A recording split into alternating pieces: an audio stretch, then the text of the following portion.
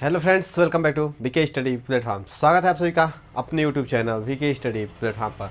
तो जैसे दोस्तों, आपको पता है कि सब्जेक्ट वर्ब एग्रीमेंट का क्लास चल रहा था, बहुत ही अच्छे तरीके से इसके रूल को हम क्लियर करते जा रहे थे पॉइंट वाइज एकदम क्लियर कर रहे थे टॉपिक वाइज हम सीक्वेंस में आपको लेकर चल रहा था कि इसका रूल कैसे बनता है कैसे इसको क्लियर करते हैं क्वेश्चन में कैसे क्वेश्चन में इसको सॉल्व करते हैं। बहुत ही अच्छे तरीके से मैं आपको बता रहा था और आपको मज़ा भी आ रहा था क्लास देख रहे होंगे तो, तो आज वैसे ही कुछ मस्ट इंपॉर्टेंट टॉपिक के साथ आपके साथ आए हैं। तो वीडियो को इंटर देखते रहिए आपको बहुत ही मज़ा आएगा बहुत ही हेल्पफुल होता है किसी भी एग्ज़ाम के लिए। पूरा अगर जितना मैं पढ़ाया, उतना पढ़ लें तो किसी एग्ज़ाम के लिए बहुत हेल्पफुल है। आपका हंड्रेड परसेंट इंग्लिश कंप्लीट हो जाएगा।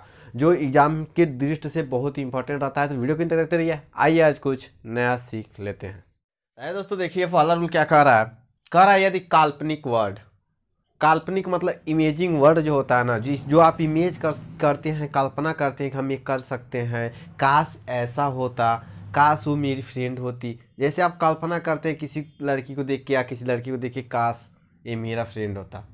तो जब आप इमेजिंग करते हैं ना, जब आप कल्पना करते हैं तो उस वर्ड का जब यूज़ हो जाता है सेंटेंस में तो उसके साथ हमेशा प्लूरल वर्ब वेयर का यूज़ होता है वर्ग का यूज़ होता है वाज का यूज़ नहीं होता है तो वर्ग का यूज़ होता है। किसका यूज़ होता है?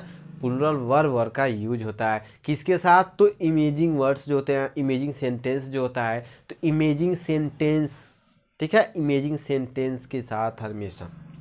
अगर कह रहा है कि वही इमेजिंग सेंटेंस काल्पनिक वाक्य अगर if as if as thought suppose I wish in case would that से स्टार्ट हुआ हो, शुरू हुआ हो तो इनके साथ हमेशा प्लूरल वर्ब का यूज़ होगा और वो कौन सा है? तो वर्ब है वाज का यूज़ नहीं होगा। ये ध्यान में रखिएगा कि काल्पनिक वाक्य जो होते हैं सेंटेंस में अगर उनकी शुरुआत दोस्तों if as as if as thought suppose I wish in case would that से हुआ हो।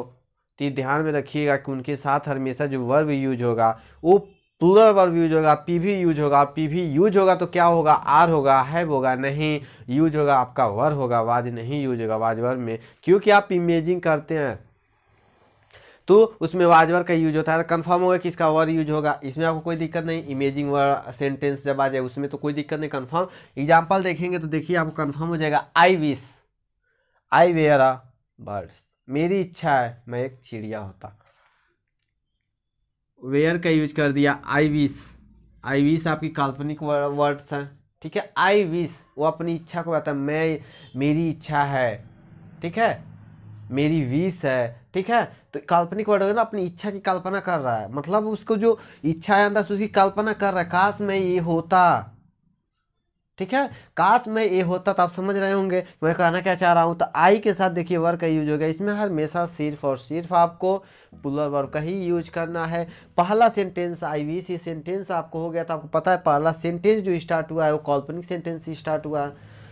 If he were rich he if if यदि कल्पना की जा रही, यदि जब ऐसे वर्ड आते हैं तो आपको कल्पना करने के लिए इमेजिंग करने का सेंटेंस आ जाता है। इफ़ का यूज़ हो गया ही के साथ वर्ड का यूज़ हो गया, और आपको पता है कि ही के साथ आवाज़ का यूज़ होता है, लेकिन यहाँ पे ही के साथ आवाज़ का यूज़ नहीं होगा वर्ड का यूज़ होगा, क्योंकि इस सेंटेंस में कल्पना की जा रही है। धनी की कल्पना रिच होने की कल्पना की जा रही है। जब कल्पना की जा रही है ना तो यहाँ पे क्या होगा?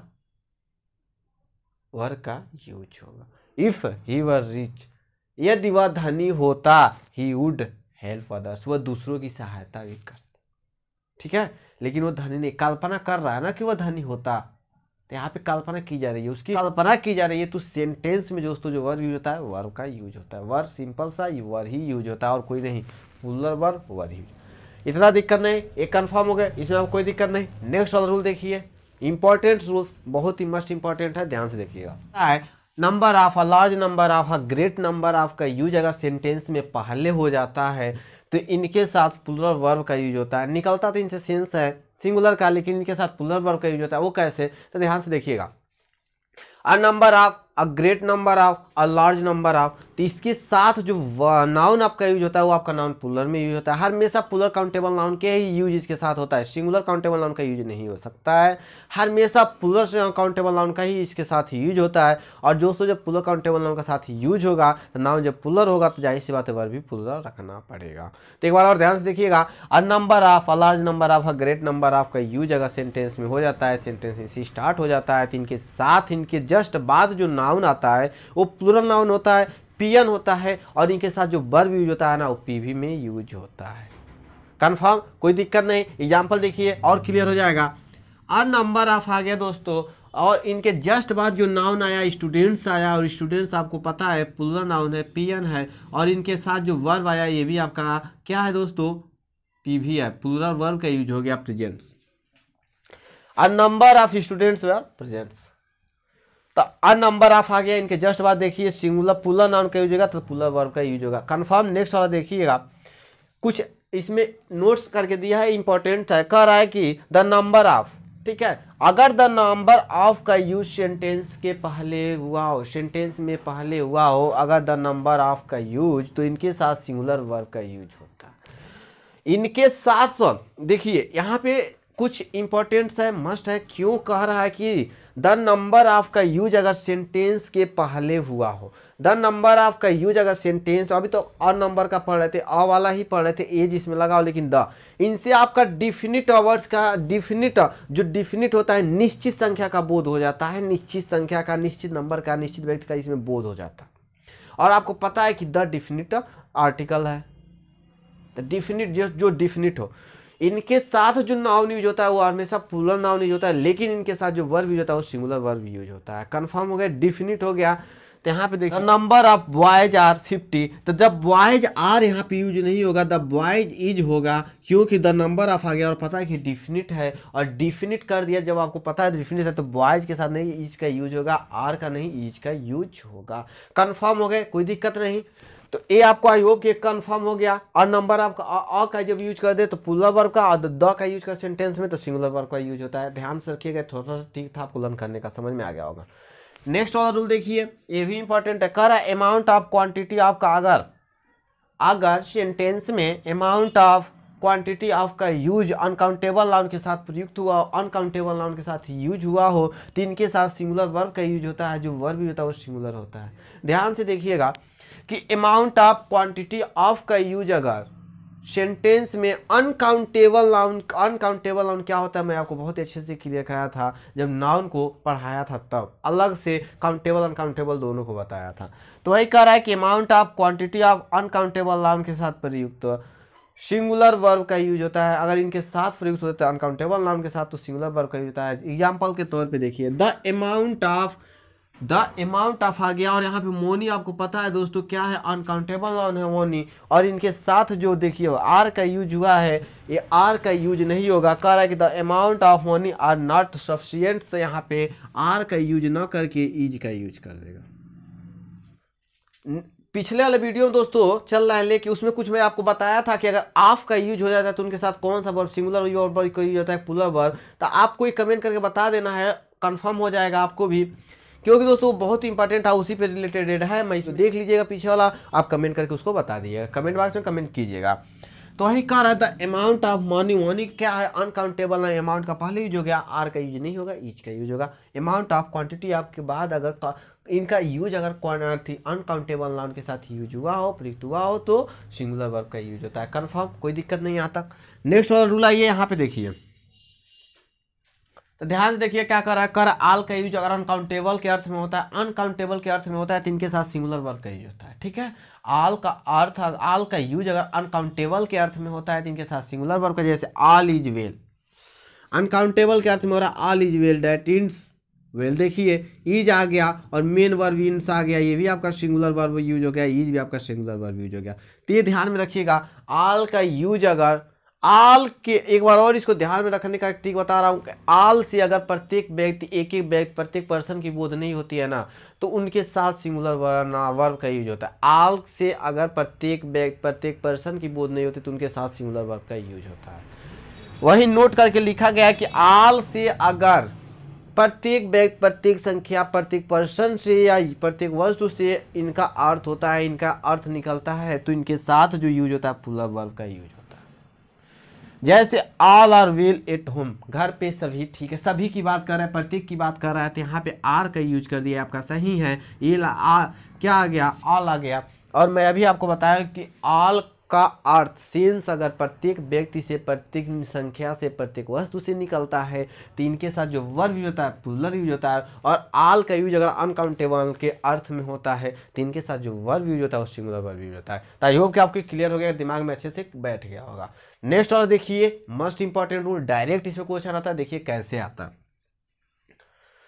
पहले तो आइए इसमें कुछ समझिए कर है furniture advice work evidence news information luggage postage percentage poetries knowledge dirts dust traffic electricity music stationery poetry bakery crockery behaviour share business mischief money words fuel और पेपर इनका यूज़ अगर अनकाउंटेबल नाउन के अर्थ में use इनका uncountable ये आई है, ठीक है? ये अनकाउंटेबल नाउन है। अनकाउंटेबल उन्होंने बताया था क्या होते हैं कौन कौन से होते हैं इंपॉर्टेंट है। अगर इनका यूज़ सेंटेंस में होता है तो इनके साथ सिंगुलर वर्ब का यूज़ होता है। ए अनकाउंटेबल नाउन है, आपको इतना तो पता होगा ही ए अनकाउंटेबल नाउन है।